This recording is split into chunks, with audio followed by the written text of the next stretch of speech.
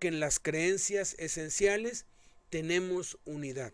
Efesios 4 del 4 al 6 dice, hay un solo cuerpo, un solo espíritu, un solo Señor, una sola fe, un solo bautismo, un solo Dios y Padre de todos, verdades esenciales. Pero hay muchas cosas en la vida cristiana, en el camino cristiano, que no son esenciales. Cosas que están abiertas para que usted las interprete cuando usted estudia, cuando usted ora, cuando usted le pide a Dios que lo enseñe. Hay algunas cosas en las que usted va a diferir de otras personas. Nosotros consideramos que muchas de estas no son esenciales y por eso es que en creencias no esenciales tenemos libertad. En estos nosotros podemos tener diversidad y nos respetamos unos a otros, como lo dice el Espíritu Santo en Romanos 14, 1, 4, 12 y 22.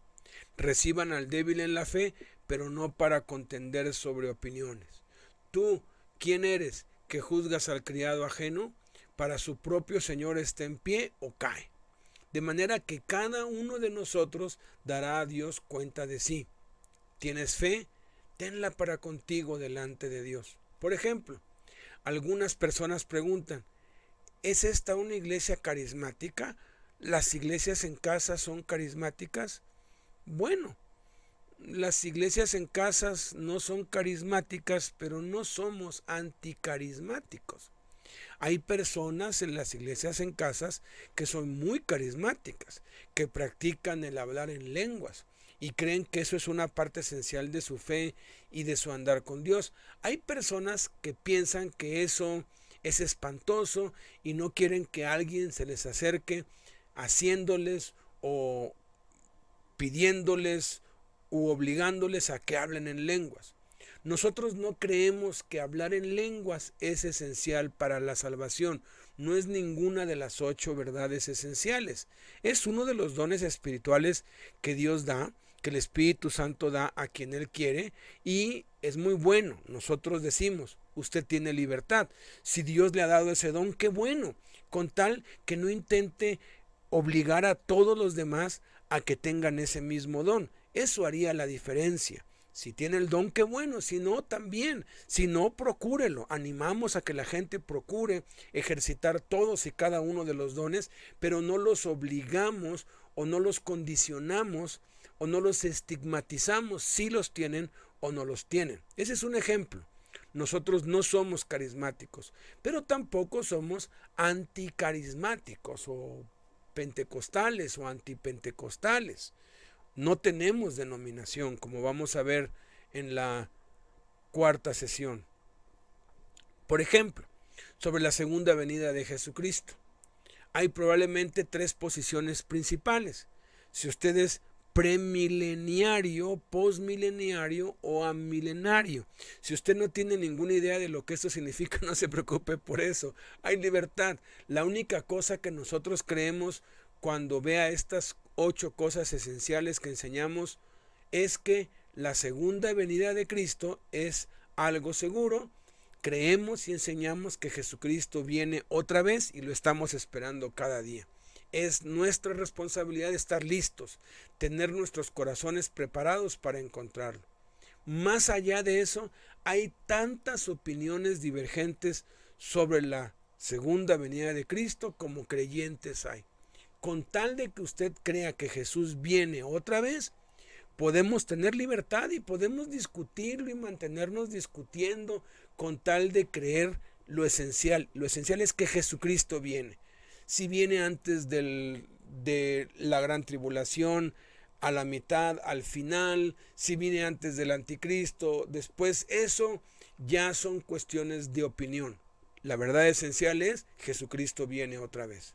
El punto es, en cosas esenciales tenemos unidad. Hay ocho cosas en las que necesitamos estar de acuerdo si desea unirse a la iglesia en casa. Hay muchas otras cosas que están abiertas a la interpretación y nosotros tenemos libertad en aquellas. Cuando alguien me habla de eso, le digo, está bien, qué bueno que crees eso, yo creo otra cosa. Pero cuando alguien me dice algo contrario a lo esencial, por ejemplo, que Jesucristo no es Dios, ahí sí me tomo el tiempo y le digo, ¿cuándo nos podemos ver unas dos o tres horas para demostrarte con la Biblia que Jesucristo sí es Dios, porque en eso sí debemos estar totalmente de acuerdo, porque es una verdad esencial para nuestra salvación.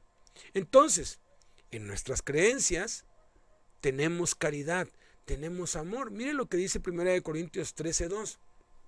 Si tengo el don de profecía y entiendo todos los misterios y todo el conocimiento y tengo una fe que logra trasladar montañas, pero no tengo amor, no soy nada. Usted puede ser teológicamente correcto y puede estar bien preparado en Apocalipsis sobre quién es la bestia y quién es el caballo rojo y qué son las copas y lo que la trompeta final es y cuándo esto ocurre. Y usted puede tener bien deducido el libro de Daniel, pero si no eres una persona amorosa y afectuosa, eso no importa nada. En resumen, tenemos unidad en las cosas que importan y que nos permiten libertad en las cosas que no son tan importantes. Y sobre todo, nos relacionamos entre nosotros con amor. Usted va a encontrarse con algunas personas en las iglesias en casa que no le van a gustar. Va a encontrarse con algunas personas que pueden herir sus sentimientos intencional o involuntariamente. Usted puede encontrar a personas que toman crédito por una idea que era suya Puede ser que usted no reciba crédito por algo que usted hizo y trabajó arduamente. Esto lo hiere. Usted puede encontrar a algunas personas que son molestas. ¿Por qué? Porque la iglesia en casa simplemente está compuesta de personas como tú y yo, imperfectos, pecadores, salvos por la gracia de Dios, que cometemos errores. Usted tiene que tomar una decisión si va a unirse a la iglesia en casa.